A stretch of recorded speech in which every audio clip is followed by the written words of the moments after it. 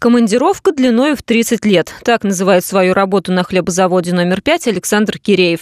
После работы в оборонной промышленности его назначили главным инженером на хлебозаводе и поручили поднимать предприятие. Здесь его ждали разлаженное производство, устаревшая техника и не слишком трудолюбивый коллектив. Работать пришлось практически 7 дней в неделю, 24 часа в сутки. Город, область всегда же хотели хлеб.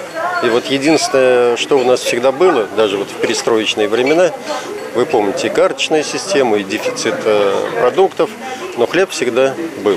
И вот эта задача ставилась перед нами, ни единого срыва, ни единого срыва поставок, чтобы народ обеспечивать хлебом.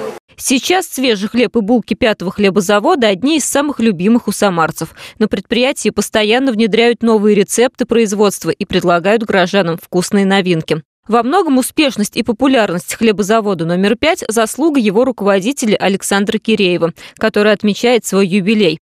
Половину своей жизни он посвятил любимому делу и родному предприятию.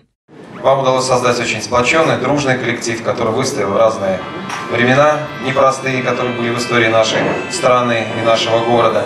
Ваша принципиальность, честность, порядочность, ваше умение дружить, ваша последовательность и прекрасные человеческие качества, моральные качества снискали вам заслуженный авторитет не только в коллективе, но и в Самарской области и в нашем родном городе.